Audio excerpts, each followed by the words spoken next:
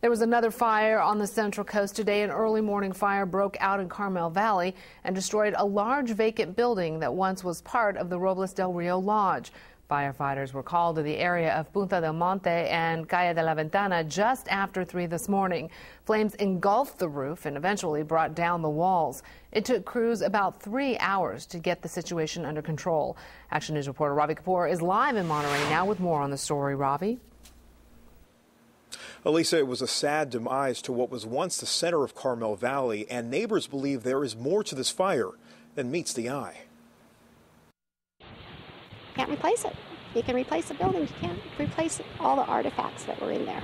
Early Sunday morning, Carmel Valley lost one of its iconic structures, the Robles del Rio Lodge, a vacation destination that sat idle for more than a decade. People would stay there and they would swim and enjoy the summers. It was a retreat. Longtime Carmel Valley resident Cindy Thatcher says in the 1920s and 30s, the lodge was a central watering hole and dining spot in the area. But it fell into disrepair in recent years, and efforts to rebuild it were stifled. A resort website says developers plan to spend $20 million to renovate and reopen the place, though information on the site has not been updated in years. Uh, yeah, I actually uh, woke up the whole neighborhood, uh, at least uh, probably about eight houses, and uh, has some bruised knuckles from knocking so hard. Jeff Honda went door to door to alert neighbors, many of whom are elderly, about the fire. A complete evacuation of the area was possible since high winds toss embers around, giving fits to fire crews. Access to this area is very difficult. You can see the cyclone fence behind us. It's been abandoned for at least 10 years. And um, a fire with this magnitude takes a lot of water to put out, and up in this area, there's not a very good water supply, so we were uh, scrambling trying to get more water. Fire officials are calling this blaze suspicious, and arson investigators are now on scene.